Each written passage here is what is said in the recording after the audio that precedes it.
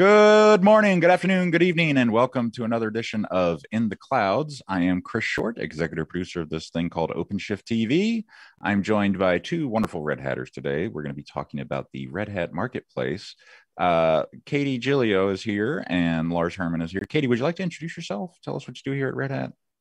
Sure. Thank you, Chris, and happy to be here. Hello to everybody. Um, so I'm Katie Giglio. I am the product marketing lead for our Red Hat partner ecosystem, um, which means I work on the positioning of our certification offerings with our ISV and SI partners. And then I also uh, lead the positioning for Red Hat Marketplace. And I get the chance to work with a lot of our IBM and Red Hat sellers in ways that we can better ensure that our OpenShift users unlock that value of OpenShift. So um, I'm really excited to be here and thanks for having me. Well, thank you for coming. I would like to note that Katie is even doing this while she's on PTO. So thank you very much, Katie, for coming on the air. You're welcome. Lars, how are you doing, sir? I'm I'm doing well, thanks, Chris, uh, and uh, thanks everybody for tuning in here. I'm glad to be here. Uh, my name is Lars Herrmann. Um, I'm uh, uh, responsible for the partner ecosystem uh, at Red Hat out of our products and technology organization. Uh, and it's, it's all about creating customer choice of lots and lots of solutions and technologies to use and driving success, not just for Red Hat, but for all our partners uh, in driving value to our customers and hopefully grow the business on the way. Awesome.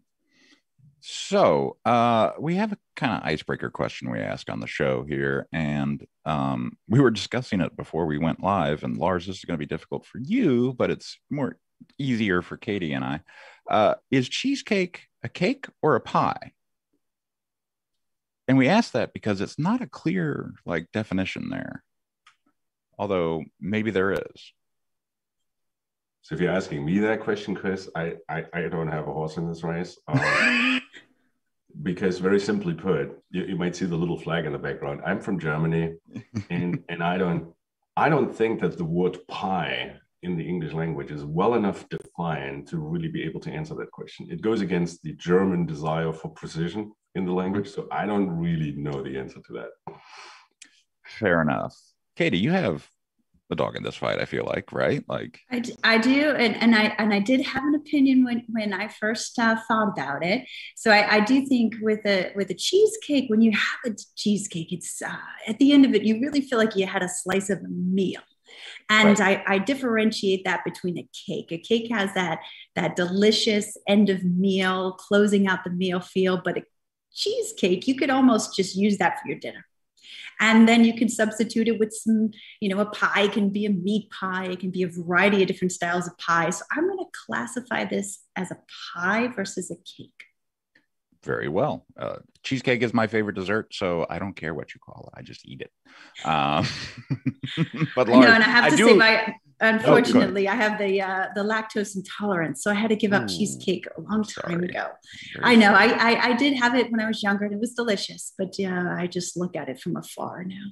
Yeah, like I'm not big on sweets for some reason, and yeah, that maybe that's why. I don't know. Hmm. Um, so thank you for entertaining me for a second. I appreciate that. So, what is Red Hat Marketplace? What is it designed to do? How does it help people? Sure, sure. Great question. Um, and really thrilled to talk to everyone about it today. So, uh, really simply put, Red Hat Marketplace offers OpenShift users that ability to discover, to trial, to purchase, and then even manage uh, certified uh, container based solutions from our, our ISVs um, and also from Red Hat and, and from IBM. Uh, we have about 75 and, and, and, and gaining by the day commercial offerings in marketplace um, that are across 12 different categories. So for ai ml uh, uh, data databases uh, devops security um, developer tools big data storage i mean anything you, you really need in order to move workloads onto openshift. And, and that's and that's the purpose that um, the products within marketplace serve. Um, we work with such isvs as Anchore cockroach labs uh, couchbase dynatrace um, uh, let's see, uh, MongoDB. So there's quite a variety.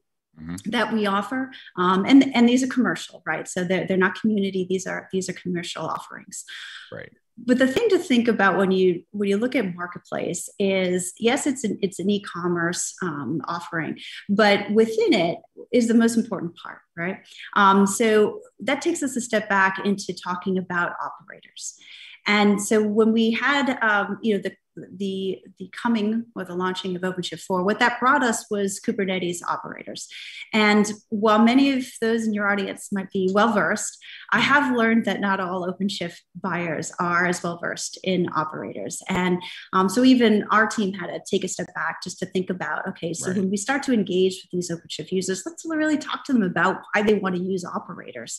Um, and so what we you know what we want to ensure is that they understand especially for developers and it admins um, that operators provide that ability uh, to rapidly and more secure and more securely automate lifecycle management um, of applications and supporting infrastructure. So that means that that burden of managing manual tasks uh, such as deployment and upgrades um, and backups is alleviated yeah. Uh, and that's really important. And I know, Chris, prior to this, you said you've had lots of experience in that.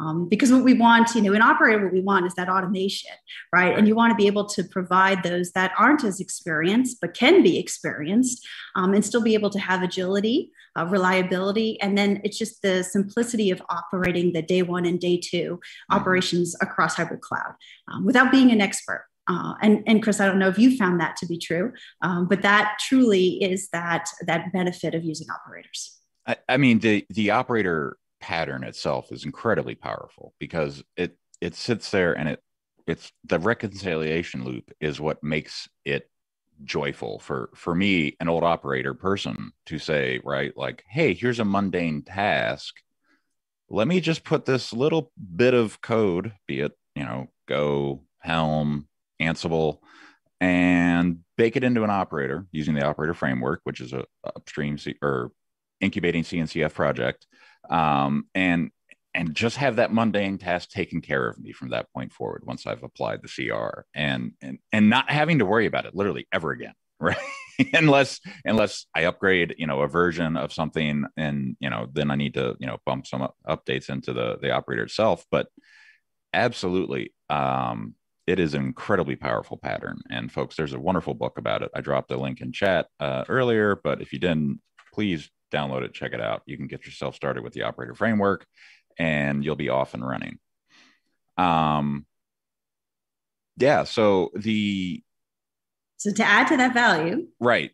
That's why we have marketplace. Right. So because within within marketplace, correct, you have the the offerings that are there are certified operators from our partners that um, really help with the majority of workloads you're going to see moved on to OpenShift. Right. The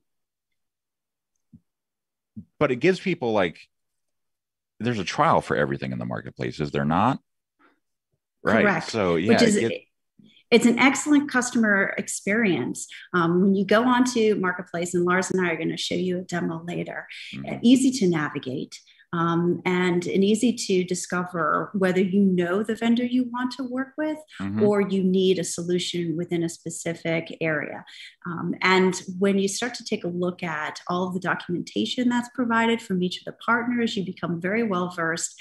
And then every uh, partner product has a 30 day trial. And so you can spin it up on one of your OpenShift clusters, which I believe, uh, Lars, we're, we're going to do a little demo to show you how easy that is. Um, and then after the 30 days, it, it, it is the function of using a credit card to make a purchase. Um, there, you know, also there are some private offers. You can work with the partner directly as well.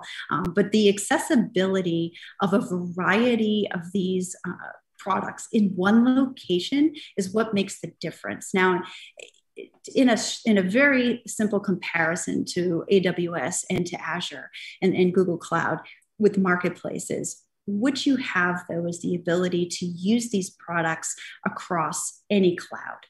Um, in any environment that OpenShift mm-hmm. runs. So now you've got your portability, right? Um, and you have your choice. You're not locked in specifically to one cloud with one application. Um, you can now use any of these applications on OpenShift and across multiple clouds.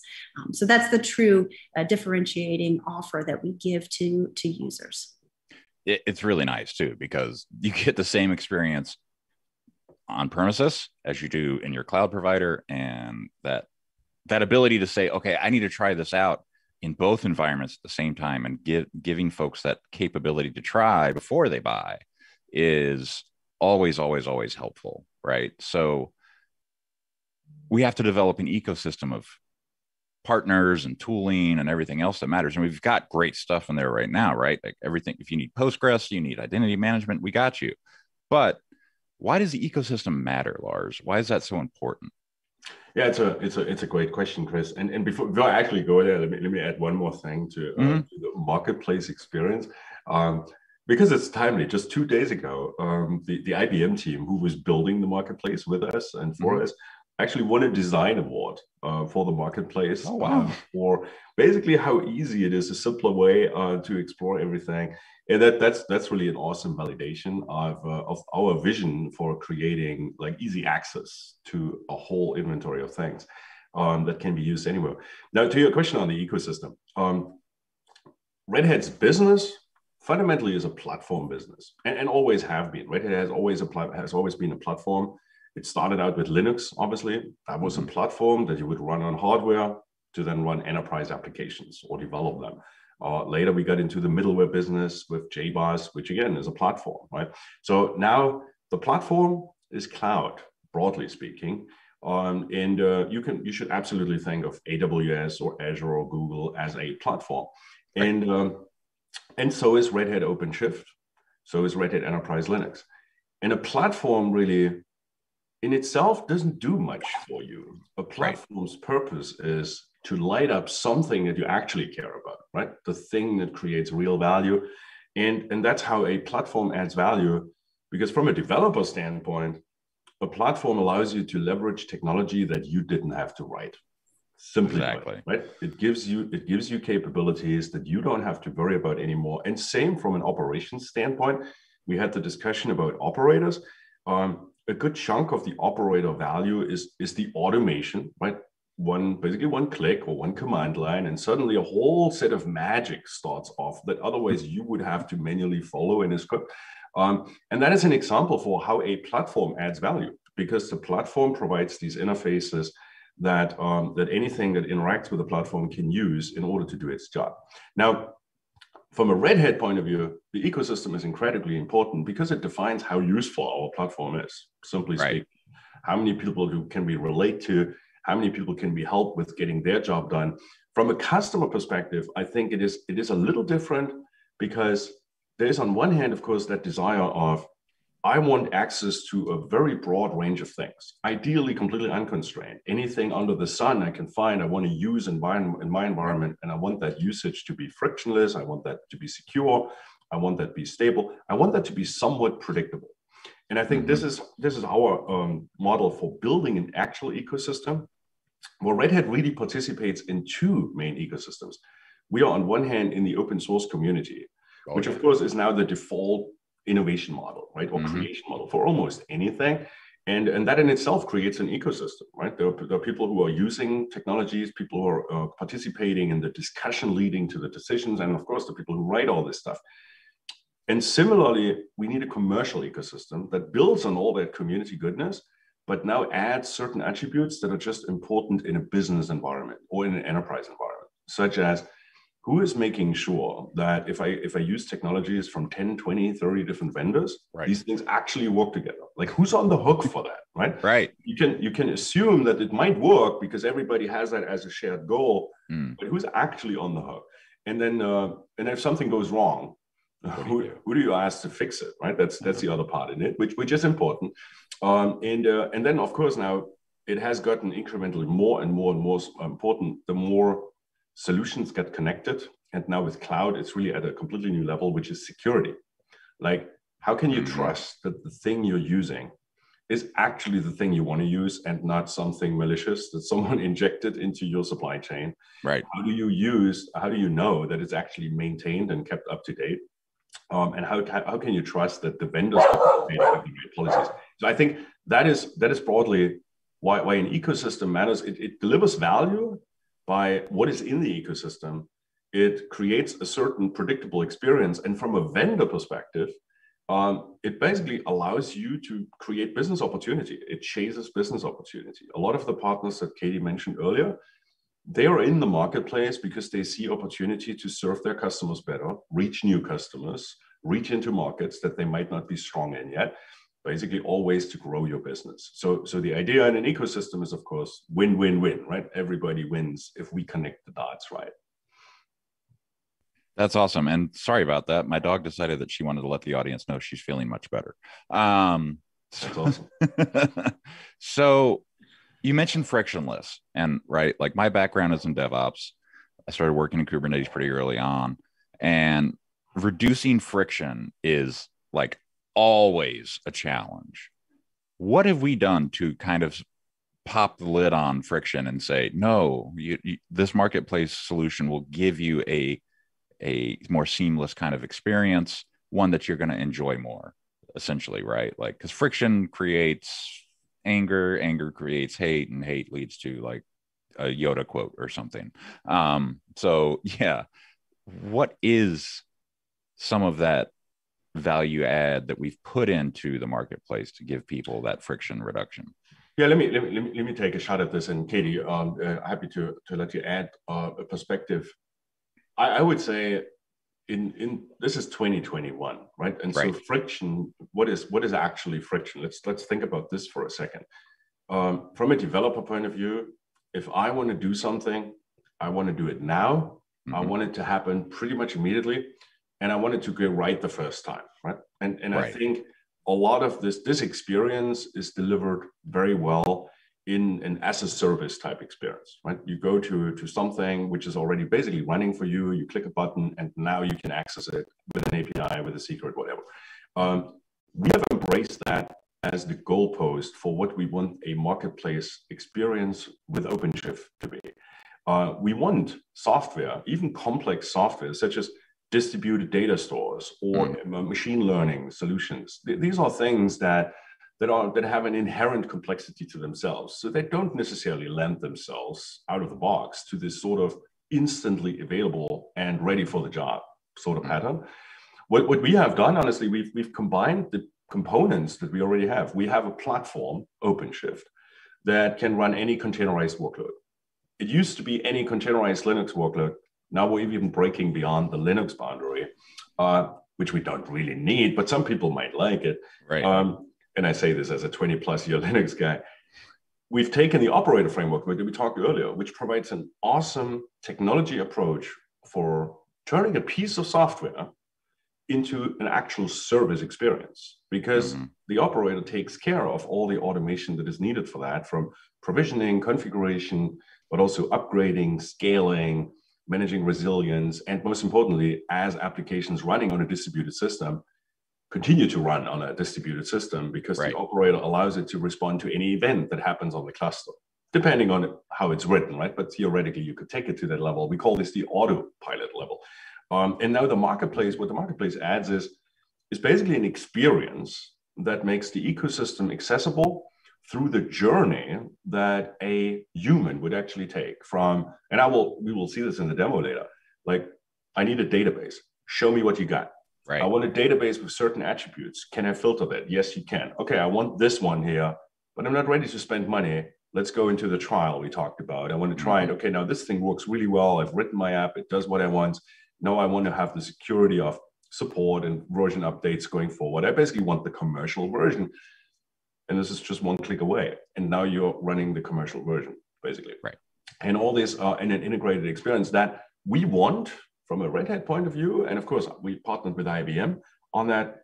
We want to be as easy as a public cloud experience without requiring you to run in any given public cloud. So right. if you can do this on a public cloud, you can do this on another public cloud. You can do it on prem. You can do it on the edge. You can do it on your laptop. We don't really care where that runs. Wherever OpenShift runs, mm-hmm. you get that experience.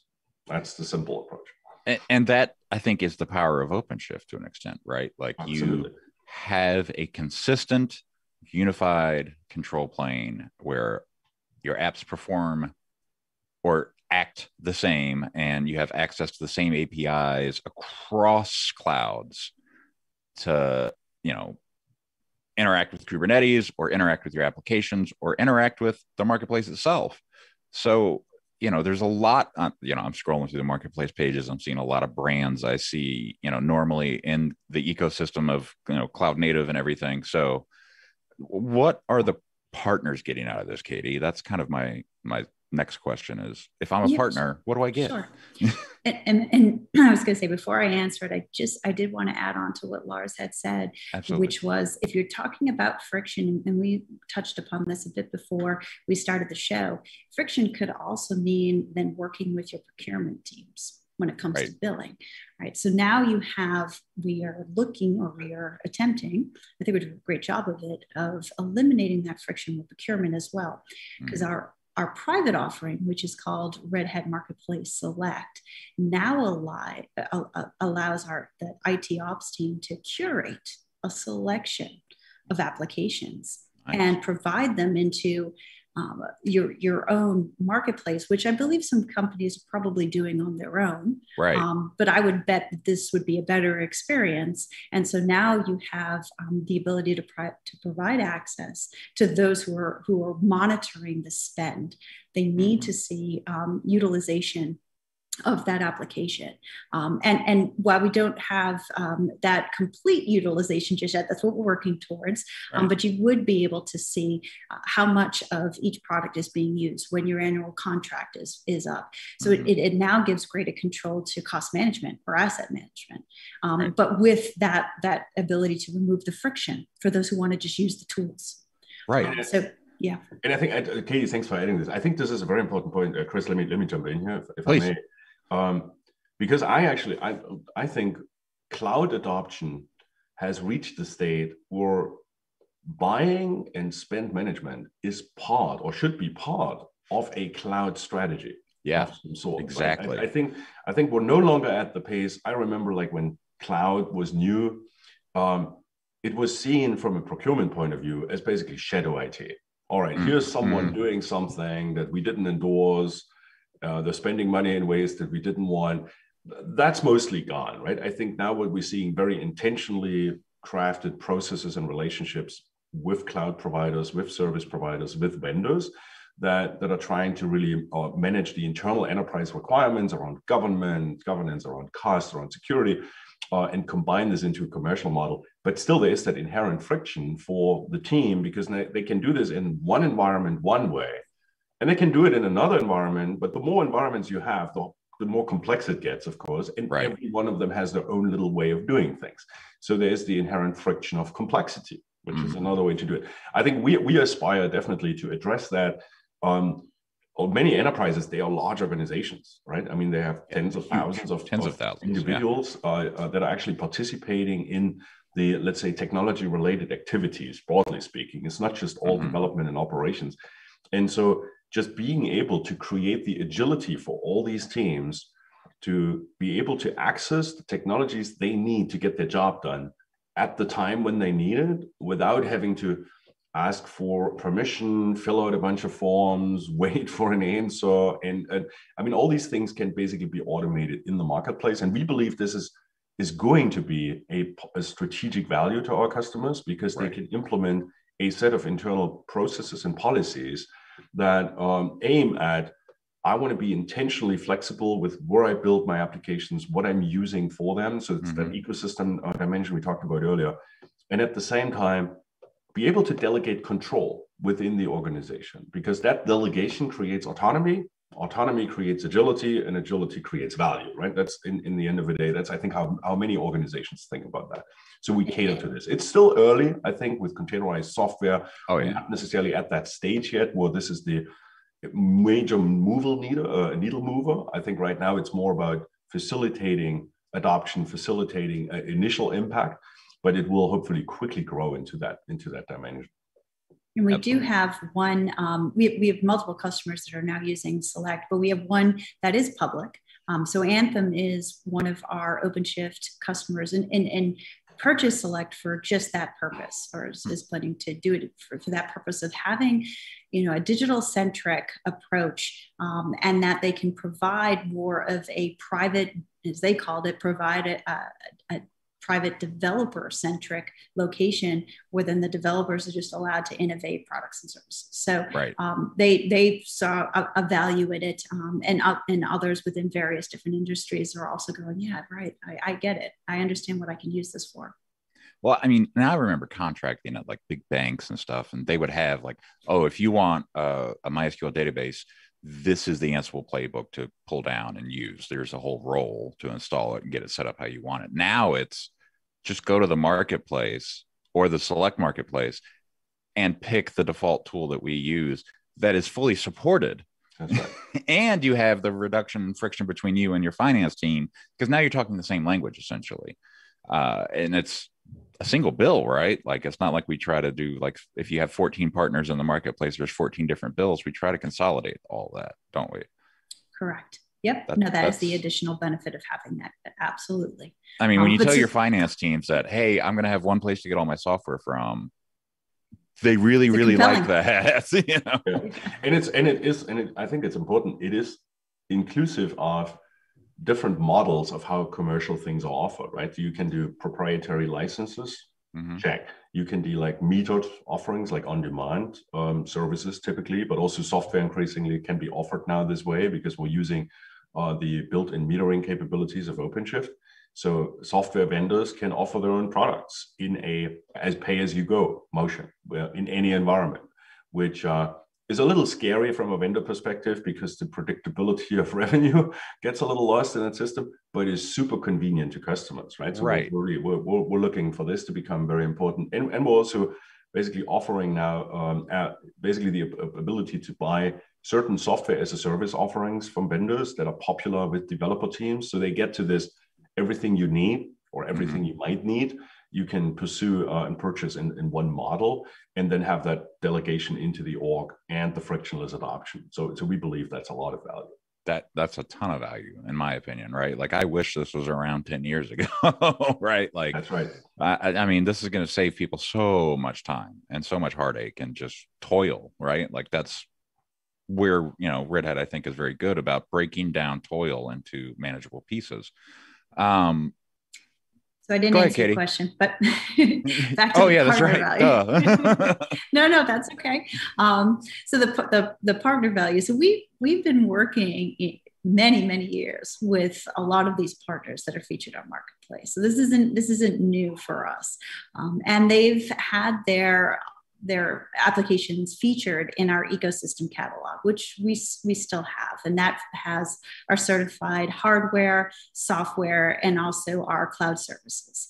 And, um, but it's not e-commerce right? Quite simply, right. it's not e-commerce. So when um, IBM came into the into the fold, I guess is, is the way to put it, um, or you can say when they purchased Red Hat, um, we then got the opportunity to work with them to build an e-commerce offering. And so, what does that offer now? Well, our partners have a digital route to market that we couldn't provide them in the wow. past and yeah. so this is it's it, it's excellent i mean they, have our, our, partners are um, very dedicated and they've built these operators for their applications and we want to give them the ability to have that awareness um, mm-hmm. the ability for consumer um, discovery uh, customer discovery right so that they in the first step of the process a customer can go into one place and to be able to look at a variety of offerings um, we also they get the chance to work with new ibm clients quite honestly. Um, I mean, they mm-hmm. do have that opportunity now um, for IBM clients that are becoming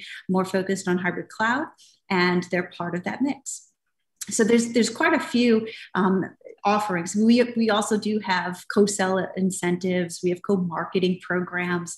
Um, but the, the bigger opportunity of having that e-commerce uh, and, and the ability to have larger awareness and probably greater spend within a customer base that they they wouldn't have been able to have before is really important and working well for them. Yeah, let me let me let me add one one one dimension to this, Katie. I think you did an excellent job in describing the business opportunity dynamics around this. And, mm-hmm. and as mm-hmm. I said earlier, this is a huge part of why someone might participate in in such a digital environment and in an ecosystem. There is another point of view in this that I just want to be transparent about because uh, we are we are talking openly about this with our partners. Um, if any software business, and of course, increasingly now, software businesses are not just driven by traditional software vendors, right? We see more and more actual enterprises who used to be more from a vendor point of view, a customer, they would buy our stuff. Right. They are now getting themselves into software offerings because mm-hmm. they, they develop intellectual property and then someone asks the question, can we monetize that? And often the answer is yes, of course. And this is how many in, innovative industry solutions are created. So basically, but any, any software vendor fundamentally has to ask themselves three questions for their business in a cloud point of view. There's the question of on how many clouds do I need to be to reach all my customers. Mm, right. So that, yes. that's, that's the yeah. addressable market question. And, and there is a severe cost to this. You typically, any software vendor for the entire history of the software industry has always made a decision of, I want as many platforms as I possibly can support, but there is the constraint of how many can I actually support, right? And cloud works the same way. It is actually expensive to being able to have your offering on AWS, on Azure, on Google, and on a bunch of regional clouds. It gets prohibitive very, very quickly. Um, so there's that dimension, addressable market. Then there's the second dimension, which is strategically, what do you want to run your business? Well, I think we have seen as these as these public clouds, we call them hyperscalers because they are hyper.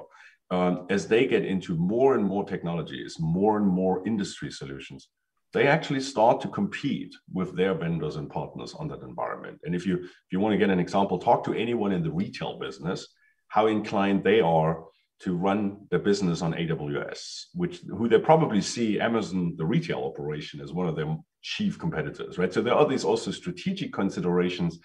We have seen that um, AWS, in their desire to serve customers and offer innovation, mm-hmm. they are offering services of popular open source technologies that happen to have vendors that drive these technologies who are now suddenly find themselves in a compete relationship with the platform on which they run that's not a great position to it's be almost in. overnight in some cases too right like exactly yeah. so in, if if something like that happens you want to be you want to have a plan b right you mm-hmm. want to you want to have you want to have options and and i think if you have built in hybrid cloud choice into your strategy then that gives you options whatever they are and then and i think the third dimension is also the innovation component. I mean, uh, any any software business, the life cycles. If you look at product life cycles, I'm a bit of an economist when it comes to this. Product life cycles have shortened dramatically. Oh yeah, they're, they're, they're, they're maybe now measured only in years. In some cases, even less than that, until they get replaced by something better. That's just the rate of innovation. So if you if you look at it from that point of view, your ability to innovate and deliver differentiation depends on your own creativity and your resourcing and your funding, but also on your ability to leverage innovation that's happening out there. And if Google tomorrow comes out with some super awesome machine learning capabilities mm-hmm. that you want to use, and now your entire app is written against, let's say, Azure, I'm not here to bash AWS all the time, then you will have a hard time tapping into this because there right. are integrations, right? If you are already on Google and you're already familiar, your engineering team is familiar, you know how to deliver service and quality there, it is much easier to tap into this. So there's, there's also that strategic element to hybrid cloud. And, uh, and I really see a lot of vendors who didn't have to worry about most of this. They're really getting pressure now from their customers, as we said earlier, who now make the intentional choices I don't care where you run your software, but I care where my data lives. I want my data to be in Azure because I trust these guys and I have some extra arrangements with them. Now, if your thing doesn't run on Azure, you have a problem, right? So I think there's there's a lot of these dimensions where, from a vendor point of view, just getting to hybrid cloud is a huge value. And then on top of that, you add that digital road to market that Katie talked about. That actually makes it real, right? Um, and I think that's that's the promise that we deliver. That said, it's still fairly early. If you look at the inventory in the marketplace, which, which we're going to do in a minute, I guess, um, is very focused on the application development set of use cases right now. We are working with many of our partners that are actually more driving business solutions to also become available in that in that same motion. So it's not just targeting developers; it's also for just uh, enabling the enterprise at large uh, to run platforms and solutions to just help them to run their business better and develop innovative applications. Awesome. Is there anything else we want to mention before we dive into the demo? No. I yes, I do have one oh, biggest quick point, which is the marketplace right now is only available to North American customers. So ah, just want okay. to keep that in mind for those who are listening. For now, yeah. For now, we have geo expansion in our plans, um, and and hopefully we'll be able to announce more soon. But just wanted to keep that in mind. Mm-hmm. Good point. But then we can go off awesome. to the demo. Yes, let's try it out. Let's see what this marketplace thing's all about. And now, uh, Chris, I can start with sharing my screen, correct? Yeah, go ahead. Okay, wonderful. Um, so for everyone, I am going to just show um, more of the navigation and what you're able to see and find and discover. And when we start to move into uh, actual seeing the use of a trial on a cluster, then Lars is going to take it from there. So I am going to now share my screen. Ah, the screen sharing dance. There we go. And here we are. And I'm guessing at this point we are all good. Mm-hmm. I see the marketplace. Yes.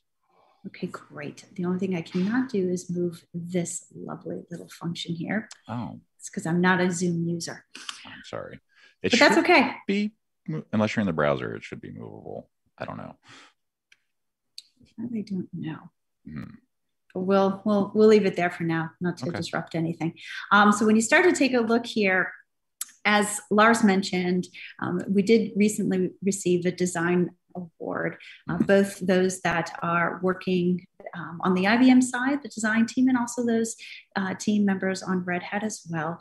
Uh, very simple aesthetic here and, and user interface the I think one of the best features is the beginning, right at the top here. Anything you want to find is is right there. I mean, it's very simple. It's it's, a, it's almost a Google like, right? Google esque. Um, so if there's, for instance, if you're looking for uh, Dynatrace, and you type in, and immediately you now have your tiles featured of what's available for Dynatrace. And that's just a simple example of looking for one specific vendor. We can opt out of that, and now we can return back to um, our, our storefront. And there are many different short videos slash documents that talk about how to use Marketplace. Um, you can see those featured here. What's new within Marketplace is also um, uh, updated. I love the fact that it has a blog associated with it. Sorry to interrupt, but yes, it, it does. Yes, it does, and that and primarily because we have a lot of uh, updates within the site, um, and that's the best way for us to get the information out. So yes, we we do have a blog as well. Um, you can see that when I mentioned we have the twelve categories featured here. Uh, so very simple again. If you're looking for a use case. Uh, you can quickly click on a use case here and then you can then access the information that you need. So if I go over to say database, now you're going to see the list of those available within we have 17 products featured here, and I'll get a little bit into more all of the um, various different information featured within each one. But I'm just taking a, a quick look. You can also, um, in, a, in a nice user experience here, be able to uh, also break it down into various things you're, you're seeking. And so you can look for various trials, how you're going to purchase. Um, ratings, we do have uh, user ratings that are also noted here. And then it goes back to, so you can filter by vendor as well. So um, it, yeah, very easy to use. So now I'll go back and I am loving how much my phone wants to pick up my conversation.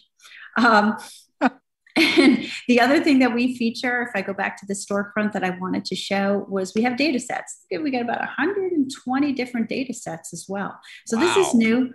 This came out, oh goodness, I think maybe September, Lars. Did we talk about data sets in no, September? No, I think I think they came around around the new year. So the new year, yeah. I, right, correct. We went fully. We GA live in the future. In September. Yes, it's just been one of those years, right? That just keeps on going. um, but we did um, announce data sets. You're right around the beginning of this year. Another great feature. Um, for, for those that for developers who are looking to find something very e- easy to look at, um, I mean, easy to use. And so there's a wide variety of data sets. And I, I believe in the next half of the year, I'm going to add more. Um, I think those are going to be more of a paid service, but right now our data sets are free. And then, uh, as you can see, we start to now looking, we dive deeper into each one of the uh, use cases. So let me just take a look here. Um, I'll just grab one. Let me go with Couchbase. So you take a look here into Couchbase. And as I mentioned, um, very rich documentation within this section. This is what we're really most proud of and easy to navigate. Straight away, you'll see up on the top, you've got the ability to do your purchase or your trial. Um, you've got access to all of your reviews, take a look um, and be able to actually see uh, user information. It, it, complete overview of what it runs on. Um, on the left, we have all of the certification standards that are met. Um, what level of operator does this also deploy? Um, and then you start to go into you know more of the pitch about the partner product and, and offering and then you have your pricing so it tells you how many cores um, what you're going to need what kind of subscription it is and then you can click to view all of our pricing options so if i click on that give you even more. So now you're going to see, okay, you have your free trial that you can access for the 30 days. And then you have your two different um, offerings based on what it is that you're looking, depending on the amount of cores that you need. Um, and so that it also gives all of the terms for the license agreements. Um, and if you need any questions that you want to ask as well, we have an FAQ section, um, but you can also at any point ask uh, a question within our support section. So very simple. I'm going to stop right there, Chris, though, because um, sure. I, as a as a user, maybe you might have some questions that I haven't quite answered yet, or features that I haven't shown. Um. So I mean, you've you've covered more than I could possibly imagine. But the I am curious, right? Like, where do the ratings come from? I know they come from users, but like, are they like in their console on their cluster and say, "Oh, this is awesome," or are they doing it in the marketplace? Where is that happening exactly? Yes, that's a really good question. So um, I am going to respond in what I believe, although I, I might say um, Lars, if I'm wrong, let, let, me know. But I, I do believe you can you can provide a, um, a, a, review here, but I do think it happens in the OpenShift console within OpenShift. Is that correct, Lars? So it's actually it's uh it's it's an it's an aggregator service that that we're mm-hmm. tapping into uh, that speaks to the technology and the product more broadly.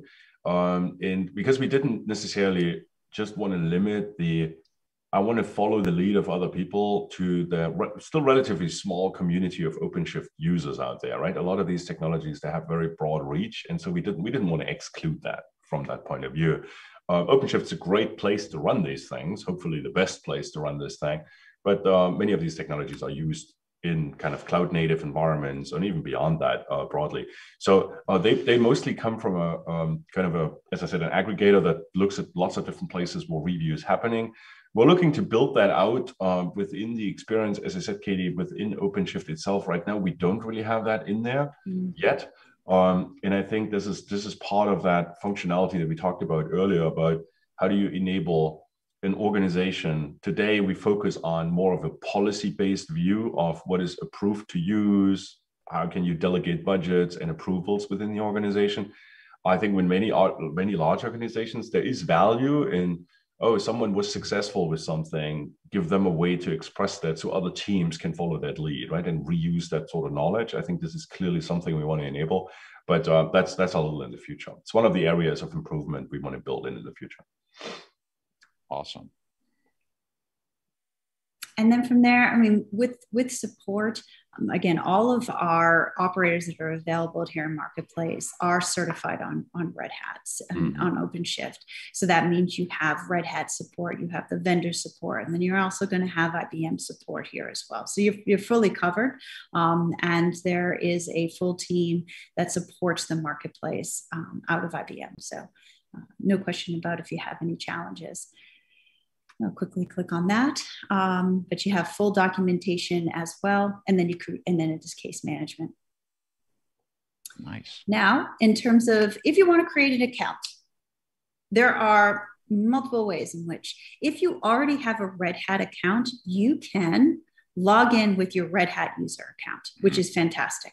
Um, and so, for instance, I have a Red Hat account, and so I can simply log in. I'm recognized um, and now the information So one account for everything. I simply added my password. And now I'm into and accessing everything within Marketplace with a Red Hat account, which is fantastic. Um, if you have an IBM account, you can do exactly the same thing. And if you have, if you don't have either, then you can sign up for a Red Hat Marketplace ID. So there are three ways to enter this portal. Um, but for most it most practical, I would say, would be to log in with your with your Red Hat account. So all customers would, would use their existing ID to enter into um, into the portal. And now you've got access to a variety of different offerings and this, like for instance, I, have downloaded and done a few trials myself, but you can start to see what you're what you have available. Although I, it might have been some time. So at this point is where I'll, I'll, transfer it over to Lars because he does have um, an existing cluster and has a trial that he can he can walk through. Unless there are any other questions that you have, Chris, on this. No, I don't have any more questions. Go ahead, Lars. All right. About and, uh, 13 minutes left on the hour here. All right. Now we will be in the hands of OpenShift to stay on time with that. Let's see how that works. Does that come through? You should yep. see a, a beautiful, there you go. actually provisioned OpenShift cluster that we we put together for this. So I just wanted to um, show a little bit. What Katie showed was the experience on marketplace.redhat.com. That's the what we call the public marketplace. As we as, as she said, Marketplace Select um, is basically a customizable version for an enterprise with their own logo in there with additional controls. In any case, the architecture is the marketplace manages an inventory, manages, manages your purchases, your users, and it speaks to OpenShift clusters.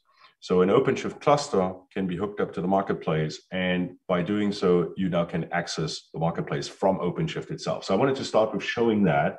So if we go here into the operators, um, I can go into the operator hub, which shows basically all the software that's available uh, for instant deployment within this cluster.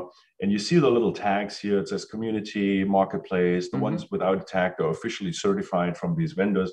So I could go down here and subselect, okay, let's look at only what comes from the marketplace. And let's say I want to use a database. Katie used the database example. Mm-hmm. And let's say I'm really excited about operators. So I want I want a database with these autopilot capabilities. Nice. So yeah, I don't yeah. have to worry about the distributed system aspects of these things. That gets me to uh, two, three. Couchbase. Katie showed Coachy, uh, Couchbase. So let me go into Crunchy. So I can basically click in here. I get a very similar UI to what I did, uh, mm-hmm. what, what Katie showed and I can actually go out to the marketplace. This leads me out to the marketplace side, or I can install it from this cluster right away, right? So that's the experience within OpenShift. Um, now, similarly, I can actually go and in the marketplace, this is now my account, which I don't know if the same or different than Katie's, it could be. So in the marketplace, you have this workspace section where, where you can basically look at what is my software so I went in there like yesterday or two days ago and just hit the trial button for Crunchy. So you see, I have one product here, says Crunchy, mm-hmm. trial, tri- Crunchy Postgres, trial expires 28 days. I can click on this thing. And now what can I do with this trial? Right. That's the, that's right. The question. Are there any uh, limiting features uh, or anything? Right. Exactly. Yeah. So, and now I'm basically getting into, into a side of what did I use that trial? And, and you see here, it is actually deployed on a cluster. So I, I, basically took this from the marketplace UI. It, basically, I pressed this button here, install operator. Wow. So if you click that button, um, you now can choose. Well, that looks familiar. different channels or approval strategies, and then you can choose one of the clusters that you have registered. So I have this cluster that I just showed you, and now I can just pick a namespace into which I want to put it. Um, of course, now this one is already running it, right? So it would have to right. be a different namespace. Then you click install, and then the operator magic takes off. And however long that takes, depends on the software, how complex that is. You have your thing running, right? So that's that's basically that experience. Similarly, I could go for the existing ones. Um, I basically see all my software inventory for each of these products. This takes a while. Um, so let me actually go back into OpenShift while this is loading. And if I go into the operator hub here, I can see the installed operators. Mm-hmm. See the couple. Um, there's the marketplace operator itself, which creates that connection so that these two things can talk to each other very, very securely. And here's my trial, Crunchy PostgreSQL in the MyTest namespace. So I can now go into this thing and for example, whatever, deploy an actual instance of a cluster of Postgres servers for my application, right? Right. Um, and that way it could then also be made available to, uh, to developers, et cetera, et cetera. So it, I think it very much delivers that frictionless experience that we talked about. And all I have to do for this is I basically have to take an OpenShift cluster and connect it to the marketplace, which is actually a fairly simple step. Yeah, that you should be pretty straightforward. You need yeah. permissions on the on the cluster because, of mm-hmm. course, that thing is kind of running as a system level service on the cluster. Yeah. Um, so, but but basically, it's about a pull. Don't look at the. Oh, it's just the name of the secret. Good. Um, and then a, a few commands we're going to make this experience a little more slick. Right now, it's still like following just a few OC commands, basically on the command line, or, mm-hmm. or you're logged into this cluster. But it is a really like it took me like three minutes, honestly, to to, to get this going, and yeah, then I could go in and um, and actually deploy software on that. So I, I think that's actually pretty cool. Um, and now yeah. as, a, as a result, I had my I had my clusters here. Um, it says AWS, right? You would you would of course have, as we just said earlier, any cloud, any environment. It would just uh, annotate this properly. I can go straight into the console of that cluster from here, nice. um, and of course I can I can detach that. So that's in a nutshell the experience. So really, from the marketplace, you have a view of what are your clusters, what's going on them, which is which is simple, and that's by design. We want that to be simple. Red Hat offers very comprehensive management tools if you really want to manage everything that's going on in the cluster, like like Advanced Cluster Manager.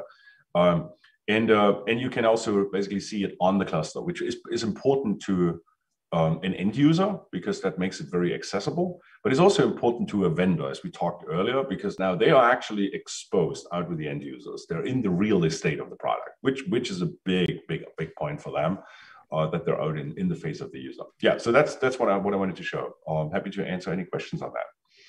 No, I mean that that was a very comprehensive review. I mean, what is what does the simpler process look like, right? Because I'm pasting in five commands seems pretty easy to me. yeah, no, I, I, yeah, I I would agree with that. I think we could we could of course, and we got this question occasionally um, could a cluster pre-install that marketplace integration? Oh, okay, uh, yeah. You know, so you could, yeah, you could potentially, but then or I think we made OpenShift more modular with version mm-hmm. four than it was before, and that was intentional because customers want to control as to what's running there. And then, of course, you still have the secret account level exchange. We couldn't automate this away. So, uh, but they, but I mean, all, we're always open to hearing how we can make this experience better uh, and how we can make it more exciting. For sure. Awesome. All right. Stop sharing. Wonderful.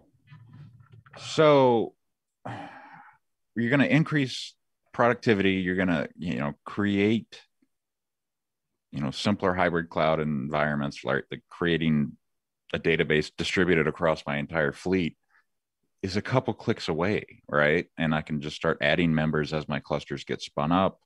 Like this, this seems almost too good to be true, right? Like what was the what was the motivation from the either the IBM side or the Red Hat side to like build this thing, right? Yeah, no, it's a I, it's a great question because I, I would say from a from a let me start off with the Red Hat side because obviously I've been working with Red Hat for so many years, uh, mm-hmm. uh, I think 18 plus now. Um, Red Hat has always been about choice and about openness and about somewhat being Switzerland, uh, as in neutral to others, right? Right. Um, and uh, so, from an ecosystem point of view, that really means like we will partner with anybody out there that our customers want uh, wants to wants us to work with. Um, and we, we're, we're simply speaking there. So that's where that openness thing came from. Now, obviously, hybrid cloud is now really real. I think hybrid cloud is a lot more real with containerized applications because containerization gives us the primitives that enable mm. consistency, portability, and that level of let's say, opinionation in uh, that allows us to automate things, right? So it really allows us to deliver a cloud service in these different environments. So that was the second ingredient. So openness plus containerization, um, and then there's really that that commerce dimension that Katie talked about, which is actually a business in itself. Like selling someone else's products, that's a business, and yeah. you need to be able to do this. And this is not in full in full transparency, this is not a business Red Hat has ever been in. So yeah. we have we, we we just don't do that. We have never done that. We don't sell other companies stuff. Um, internally sometimes we're thinking that our own sales channels are not selling enough of our own product, not to mention other companies' products. So right. we were actually looking, I was looking for um, how can we serve that need uh, while Red Hat continues to not be in that business.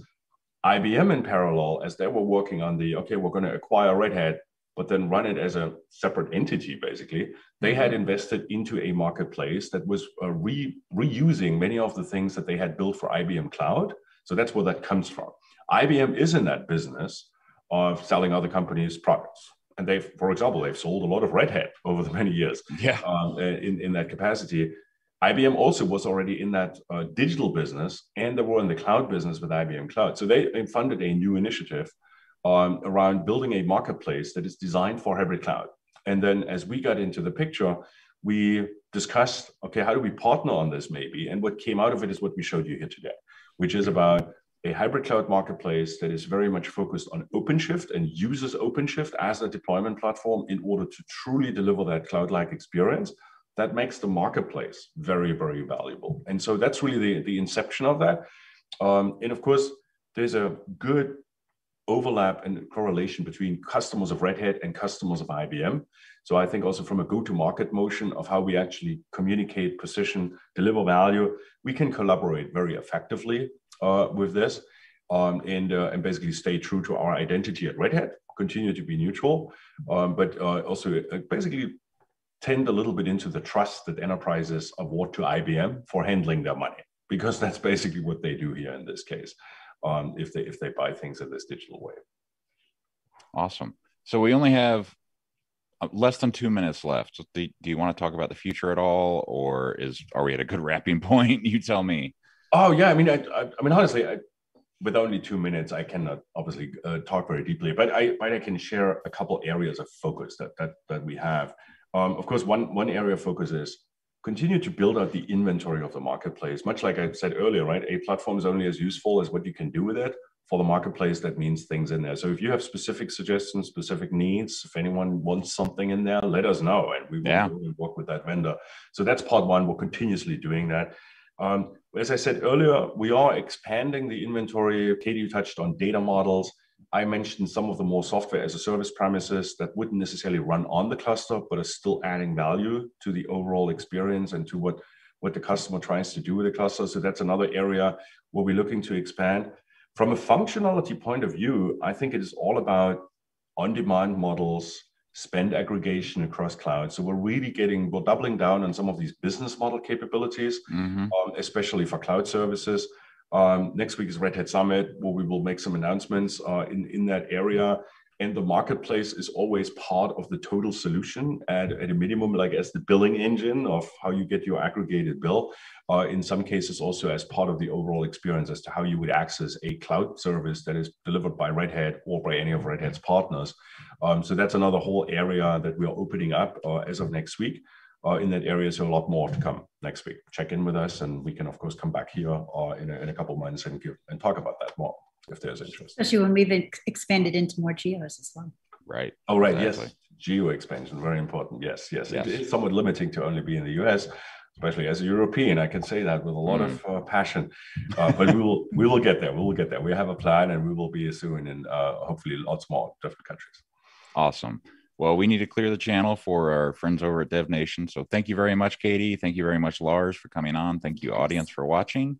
And we'll see you next time on In the Clouds. Thanks for having Thanks, us, everyone. Chris. Thanks, everyone.